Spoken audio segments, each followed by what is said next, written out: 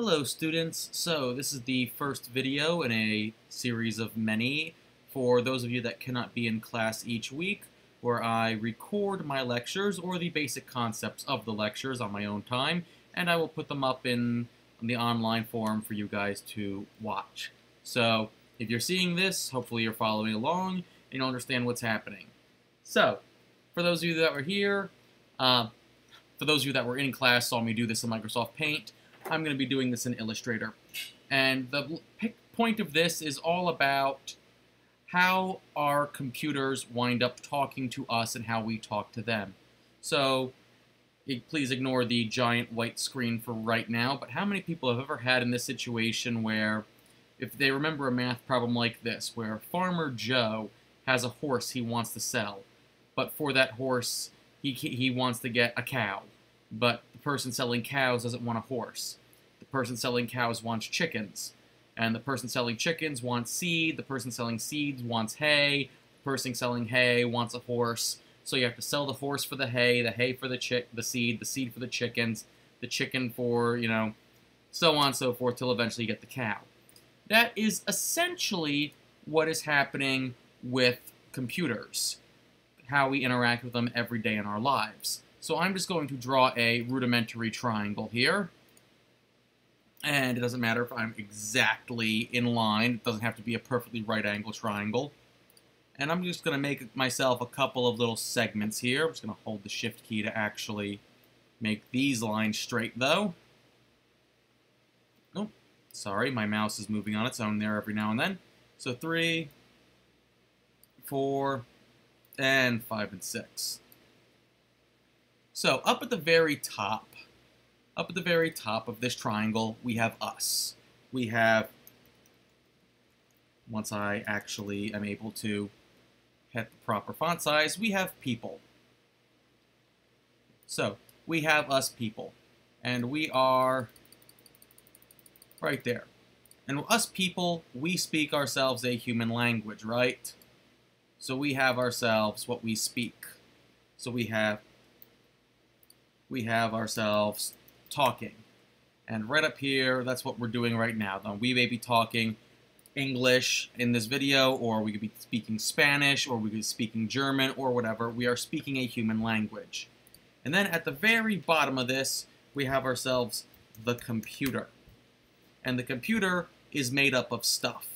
It is made up of, you know, a keyboard, a mouse, a desktop, a monitor. Inside that tower is a GPU, a CPU, RAM. It's all made up of hardware.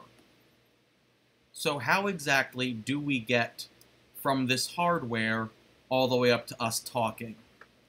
So, that's what this is, all the steps in between, how we interact every single day with a computer. So, allow me to just open up uh, Google Images here for a moment, or Google Chrome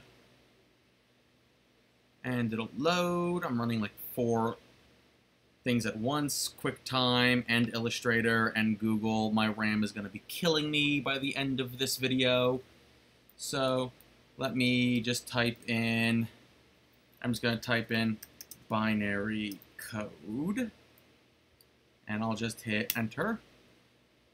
So how many people here have ever seen The Matrix? So we've all seen the things of where the code just cascades down. It is in fact a representation of a real thing.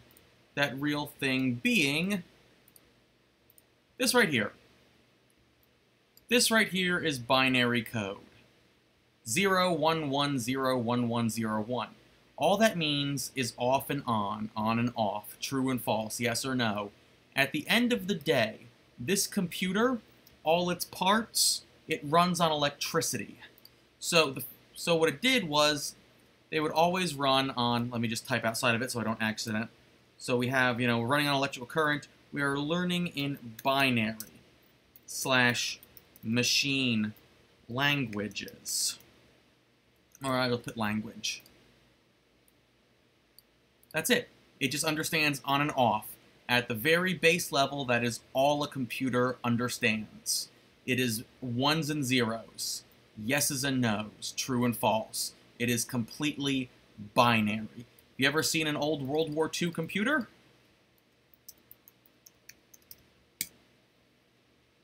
Here we go. Let's go with images. This is an old World War II computer. It takes up all this giant room with all these switches and levers and knobs. Really, and all it would it was print out a little tiny piece of paper that would have dots on it. Dot, dot, dot, dot, dot, dot, dot, dot, no dot, no dot, no dot, dot, dot, dot, dot, no dot, dot, dot, dot. And that was a binary language. That is the dawn of time of computers. So while we are still thinking of it this way while looking at this chart, right over here at the bottom, and yes, I made a star even though I could use a star tool, this is essentially the start, the dawn of computers. And as we go upward, and once again, I know I could be using an actual arrow instead of, you know, just drawing this in the pen. As we going upward, we are going upwards in time as well. So right here, sorry, let me switch tools and then switch back. Right now is the present. Whoop. Come on, scrolly wheel, stop doing that to me. So, we are going from World War II, and we basically just have machines that go in binary. But obviously, computers would not be the mass market success they are today if they were still these gigantic things that took up entire rooms. So, what was the next step? Well, the next step was you had to convert those dots, those little tiny ons and offs. You had to convert it into something people understood. So, who here has heard of the Ford Motor Company? If so, you've probably heard someone say of assembly, of the assembly line. So we have the assembly language. That was what they did. Whoops, whoops, whoops, stop, stop scrolling. Stop scrolling. So, we had in ourselves an assembly language. We had to take all these little dots and we had to assemble it into something. So if I go back here, there was already another nice, pretty image that was nice and easy here. This guy. So right now, we've got a binary of 5 bits, because there's one, two, three, four, five spots. And 00001 represented A. 00010 was B. 00011 is C, so on and so forth. Who here has ever heard of an 8-bit system? Or a 16-bit or 32-bit? Or has anyone actually taken a look at their computer, say it runs Photoshop or any program while it's going version 13 point whatever, and it's going through all that code while it's loading, and it says, you know, 32-bit version, 64-bit version. That's what it's referring to. It's referring to the number of slots we have open here. So this guy right here, this is base 5. This guy right here is 0, 1, 0, 0, 0. This is 8 we have eight slots here. And as you see, with eight slots, instead of having just capital letters, we also have lowercase, symbols, and numbers. So we, the more slots you have, the more data you could do.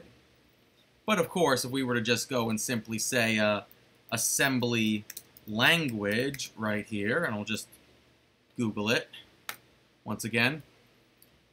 We have our machine language right here, our binary language. And we have our assembly language where we have MOV, ECX, comma, EBX, R9D, RDX, RAX. Tell me, how many people off the top of their heads can just know what this means automatically? Not that many. So even though they were converting all these dots and all these little ones and zeros into specific short phrases, a vast majority did not know what it meant. So this was good for scientists and for the computer technicians that actually worked on the machines, but for your average Joe who was using it to just, you know, check their email or whatnot, they would not be able to understand this. So they had to convert that language into something else. That something else is what we know as high-level languages. Now, a high-level language, there are bajillions of high-level languages. You could have HTML, which is websites. You've all seen that. You could have C Sharp. You could have C++. You could have ActionScript, uh, JavaScript, Java. You know, you can have all plenty of things. Here, I can just literally go to a uh, jdoodle.com here, and I will just go and say, oh, look at this. We've got all these different things we can pick from. I have a Python 3 course, so for those of you in my uh, intro to coding, that's what we'll be using. But we've got all these different types of things that we could potentially use no matter what. It doesn't necessarily matter. But this right here is your coding. So if I were to go into, actually I will go into uh, Python 3 here just to showcase this. So right now, if I zoom in on this, oops, are you not going to zoom in?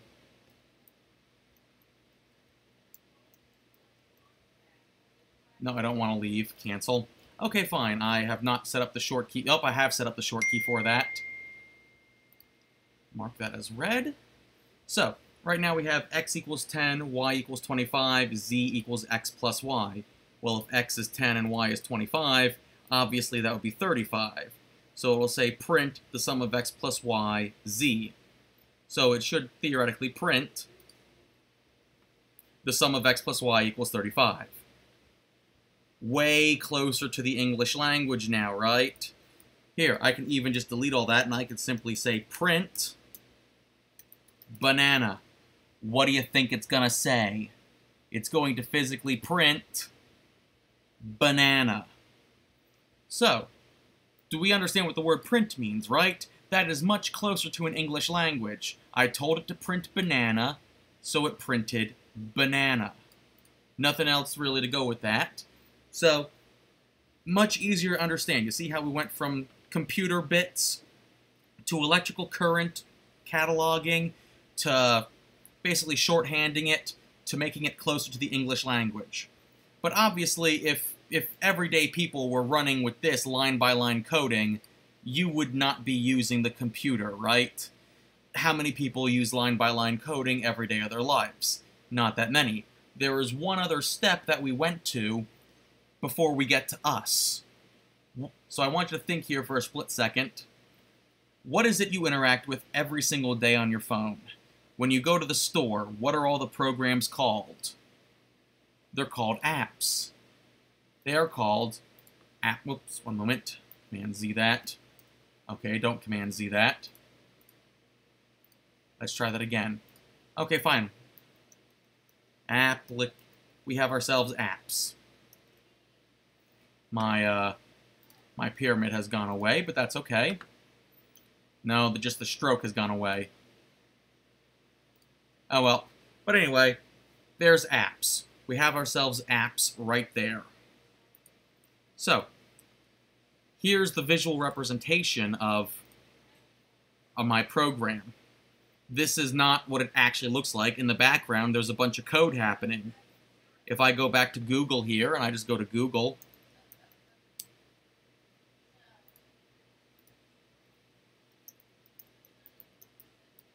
No, I don't want Gmail.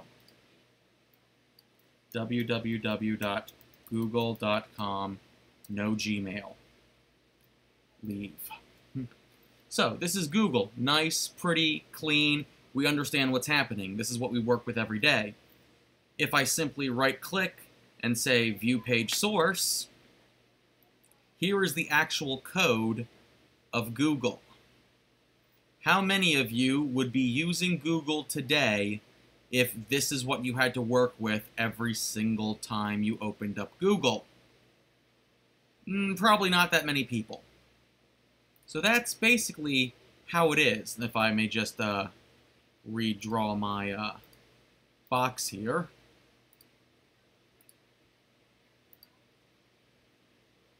There we go. Good enough. So that's what's happening. We are literally going from us talking to a visual representation to a high-level language.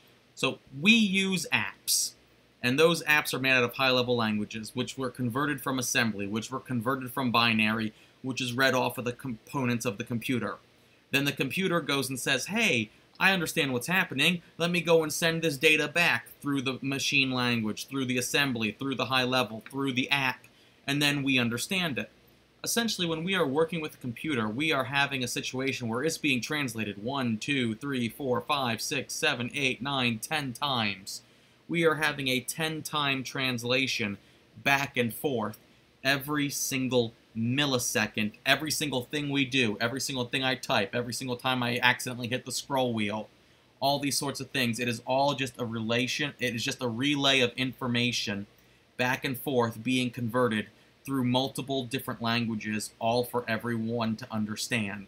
So that both sides of the conversation, the people and the computer, both understand what's happening. So therefore, we, you know, don't have the situation of trying to convert English to French to German to Japanese to Swahili to whatever back and forth. It just does that very, very quickly. So, thank you very much, and that is the end of this video.